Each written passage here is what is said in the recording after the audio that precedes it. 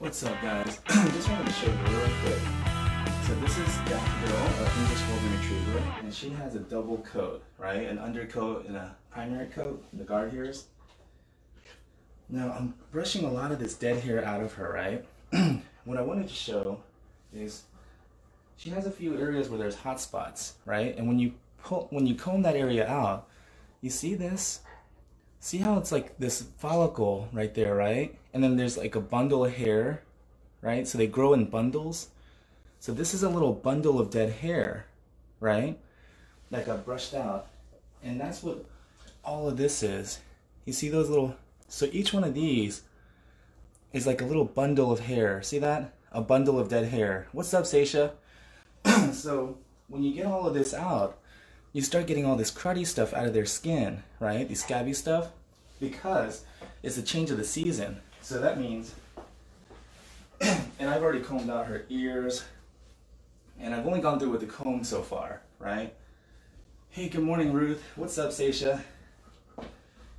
So, I wanted to show you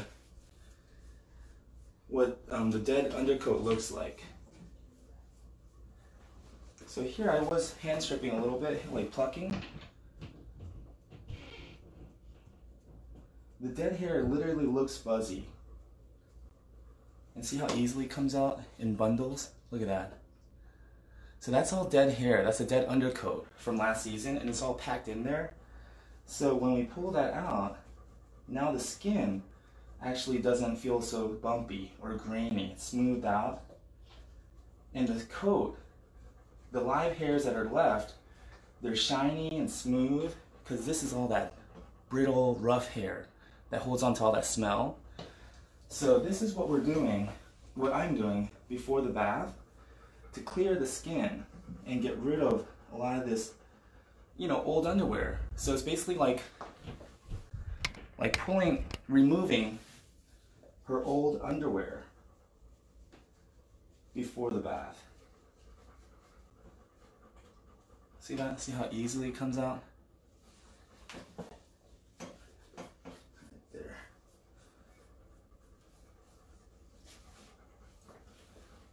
Right here as well. So just to save time, first I'm going to go through with the comb. See? Oh, that's a good one. See, look at that. It's like a dead follicle and attached to it is a bunch of hair, like a bundle of dead hair. And back here, you're gonna get a lot of that dead bundles of hair that catch because the hair is longer back here.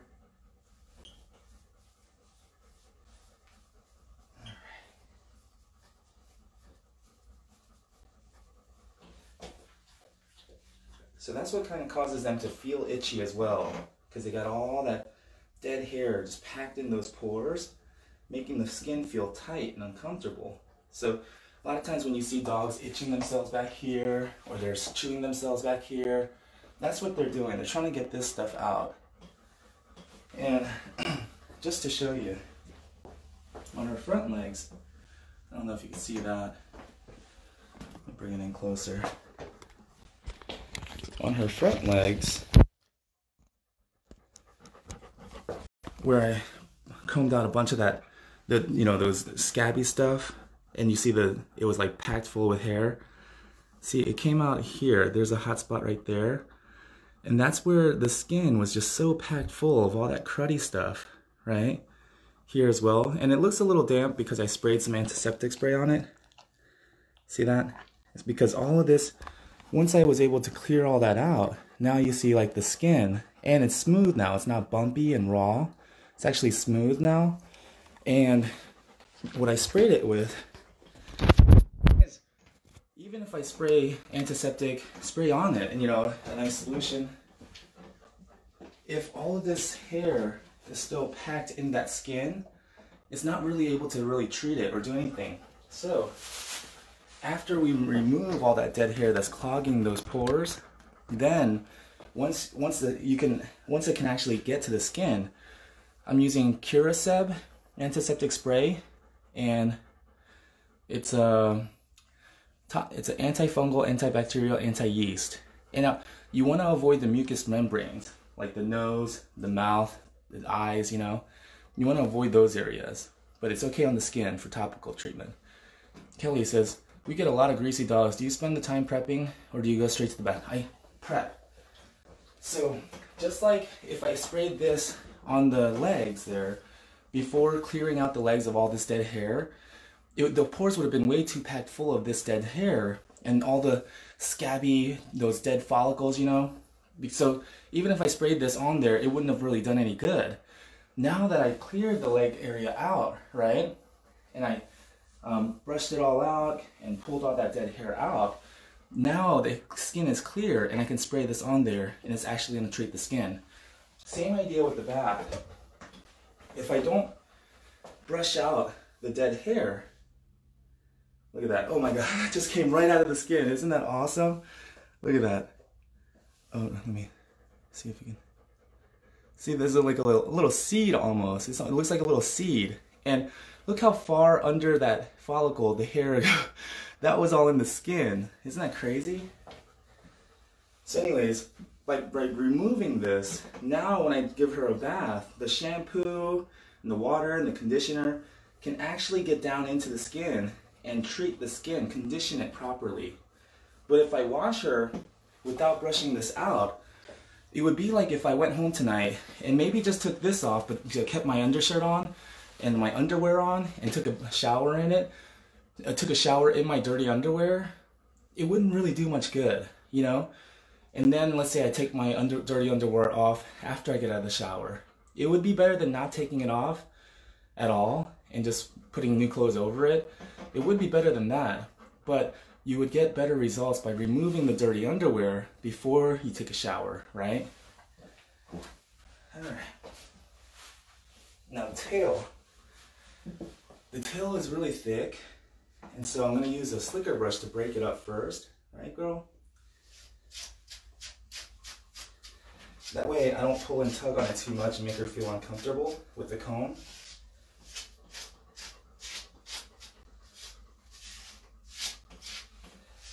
And this is especially helpful during the change of the seasons, during these transition times, because their coat, so the skin gets its signal from the sun. Look at all that, right? So once the skin can tell that there's a change in sunlight, in the intensity and the duration of the sun, we call it photo periods. When the skin, when the dog's skin um, senses, when the dog's body can, can tell that there's a change in, oh man, the photo periods, the, the intensity and the duration of the sunlight, then it, that's the signal that it takes from the sun to start shedding, to start releasing some of that dead undercoat. Uh, what's up, Spring, Spring S Wood? So you can feel, you can feel the little dead follicles and stuff, you know, the cruddy stuff that was in the skin. But anyways, once it starts to change, once the weather starts to change, the, the season starts to change, then they go through a coat change so that they stay fresh. They have fresh new underwear for the new season. So that by the time winter comes in, you know, the colder season, they'll have their new fresh underwear, their undercoat grown in for, for the protection, see?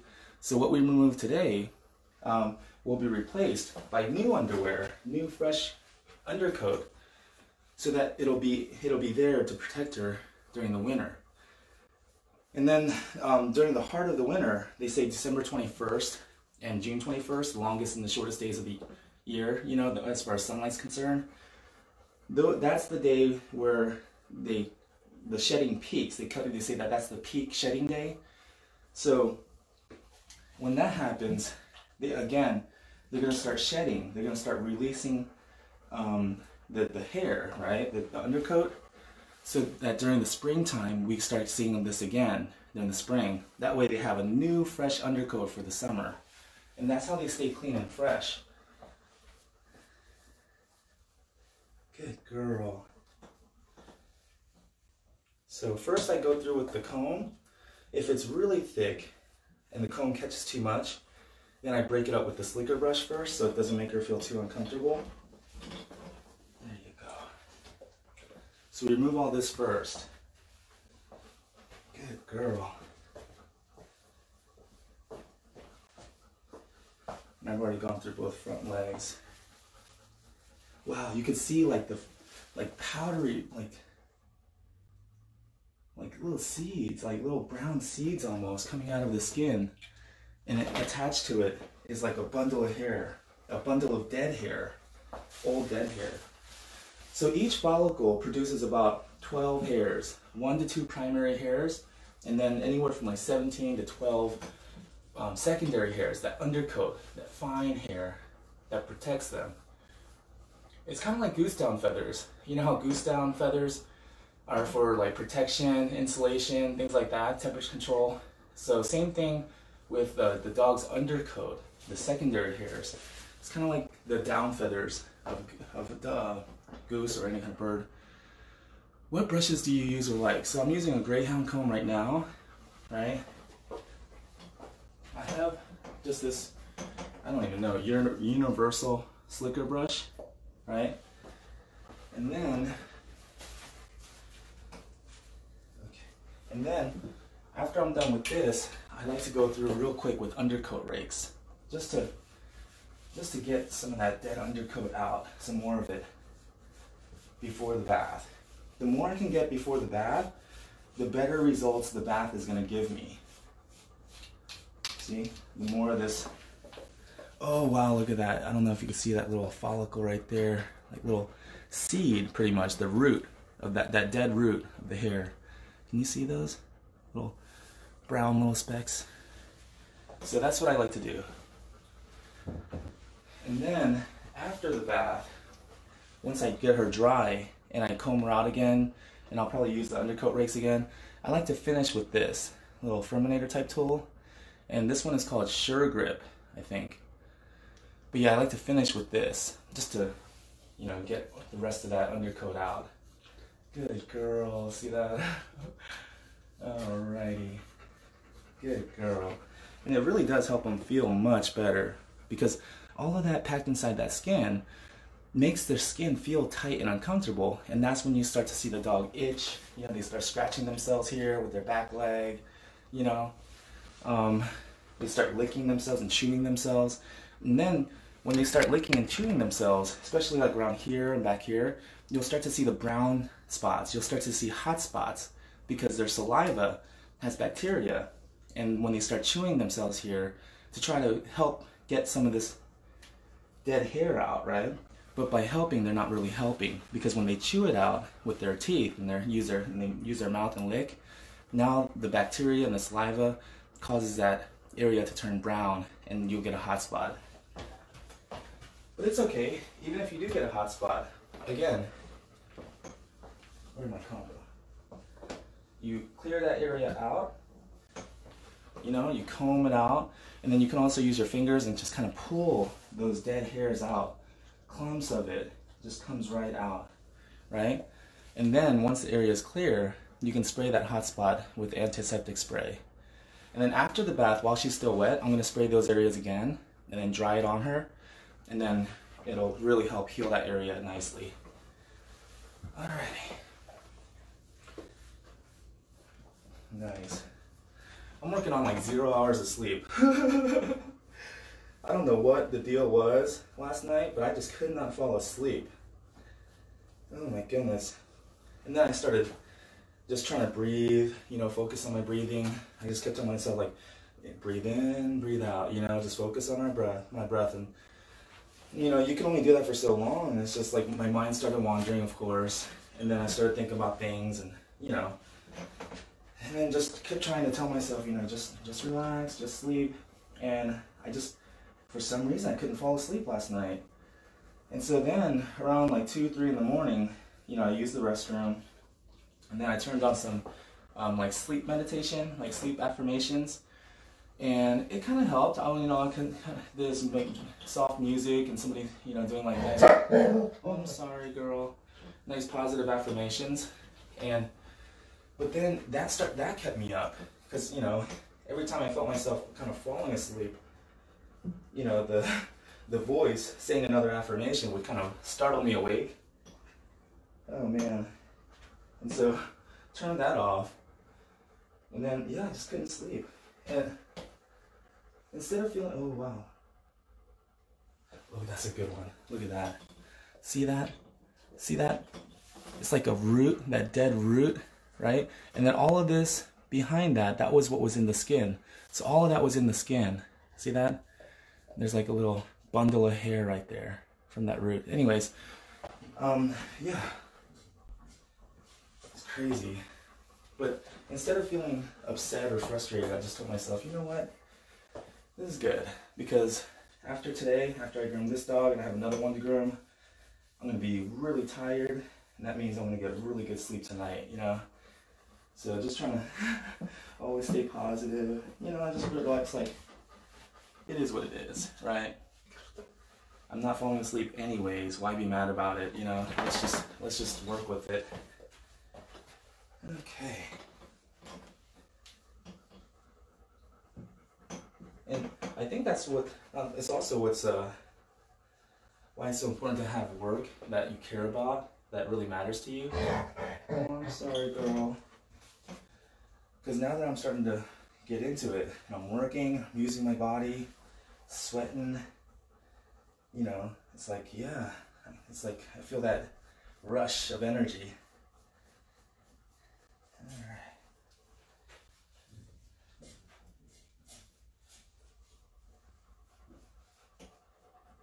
Good girl, Daffodil. Oh, wow. Oh, nice.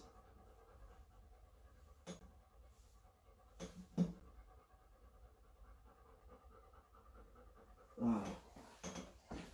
So look at that. Just slides right out of the skin. See that? See that? Crazy. So, oh, you're welcome, Spring. Spring Eswood. So, yeah, that's what I'm doing right now. So I'm just going to go through and finish getting her all combed and carded out, and then give her a bath, and then go through and dry her, and then finish her up. See you guys. So I literally just got back from the bath, from out of the shower, and so now she is towel dried, and we just have to dry her up now. Dry her up and then kind of just shape her feet, and she's done. So now is all the easy part. So by doing all that prep work and combing out all that dead hair, right? See, I'm still catching some, but not much. But see, by getting all that dead hair out before the bath, Check this out. Look at this. I got a trash bag full of it. See? This dense, brittle, smelly hair. It's all dead hair, right? Got a shopping bag full of it. By getting all of that out before the bath, now she feels so silky smooth and clean. She smells so nice, right? And she's gonna dry in no time. So before I dry her, what I like to do where did I put it? Oh, here it is. So I like to file the nails because while the nails are still wet, and I clipped them. So because I clipped the nails before the bath, they have a little sharp cut to them. But it's soft now because it's absorbed the water because the nail bed has been opened up by that cut. So now it's kind of soft, so it's going to file really nicely. So I'm going to go ahead and file the nails before I dry her. And she's literally air drying right now as we speak. So it'll give me a little more time to let her air dry. So the drying won't even take that long. Literally, um, if, by following the steps. Step one, build rapport, you know, make sure she's okay with me and trust me. And then step two, the very first visit, oh my gosh, she tried to jump off the table. She tried to atta attack me a few times, you know, trying to like snap at me and everything, growling. That was our very first visit. Now, I mean, oh my goodness, we're good friends now. Anyways, um, so by, by building rapport, so she cooperates with me, she trusts me, and then prepping the skin by combing out all that dead hair, getting all that dander, the dead follicles out of there. Then the bath, it's no, it's so easy, right? And she she gets really nice and clean. Look at how clean she is. Everything just feels smooth. The skin feels smooth. These hot spot areas that were kind of red and raw earlier, they're all nice and smooth and clean now. And so now we have a really nice, clean, smooth dog. And all we gotta do is dry her up. But before I do that, I'm gonna file her nails. So, you're okay, Daffodil. Good girl. Now because the nail, like I said, it's already clipped and it's it's soft because of the water got soaked in that nail, that sharp edge. So now, literally just go through and smooth out the edges.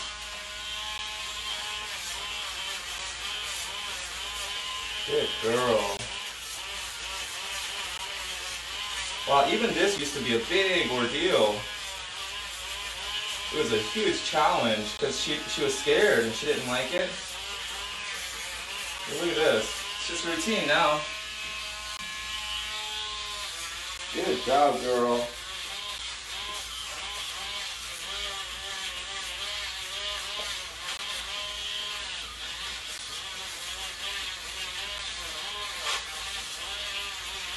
Very nice.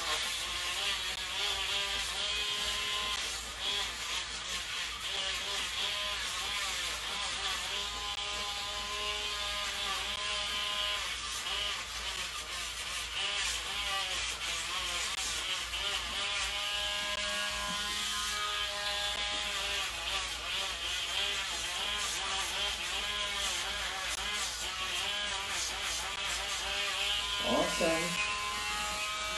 Good girl. I honestly was not expecting it to be this easy. This is kind of a surprise to me because this used to be such an ordeal. Seriously, she would uh, pull her feet away, she would tuck it under, spin, you know, try to like mouth at me. I mean, this was a real big challenge before, but now, not so much. It's awesome. So the same uh, task, the same activity that used to take a lot longer because I would have to work with her and calm her down and, you know, just kind of really work on each nail slowly and then calm her again. Now, it's not taking nearly as long because she's more cooperative, she trusts me now, she, she's gone through this process before, it's, it's more familiar to her, it's not so scary anymore. And now, boom, we're done. Good job, girl. Wow, that was easy, surprisingly. wow, okay. That was awesome. So let me just towel dry her a little bit more, she's still a little damp. Good girl. Okay. That was awesome, girl.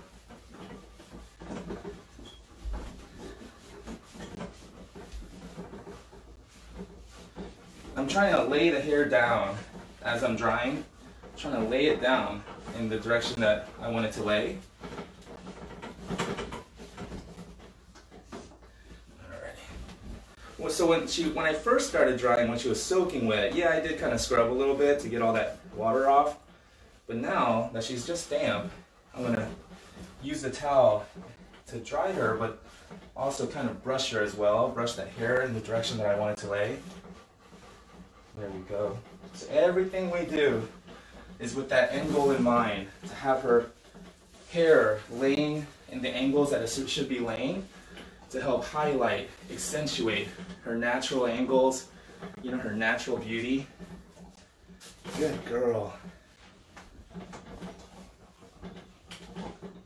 So even towel drying is not done aimlessly. All right.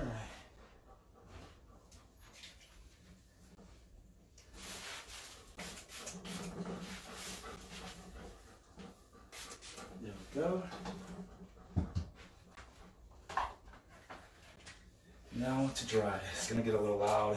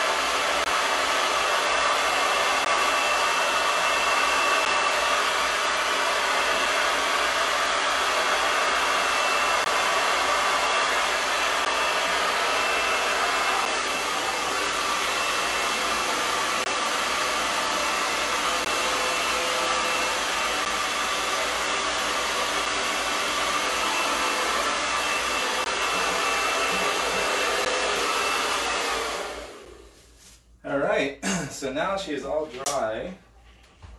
And even though I was combing pretty thoroughly, this is all I got out of her entire body. Isn't that awesome? Tanya, you need earplugs. Oh, yeah, I guess. I mean, it's, it's just a hand dryer though. But isn't that awesome? And now she's all dry and super silky smooth. Oh my goodness. Like, look at this. Oh, like butter. Just goes through like butter. And she feels so soft and silky. Oh man. Oh, your mommy's gonna love this. Oh my goodness. Even her ears and right here, like under her chin, where it was smelling pretty bad earlier, had a really strong smell, gone. Don't, can't smell nothing. Well, it kind of smells like mangoes a little bit. Alrighty. There we go. And so I start with the hot air, and then I finish with the medium, the um, warm air. And sometimes I'll go through with the cool air as well.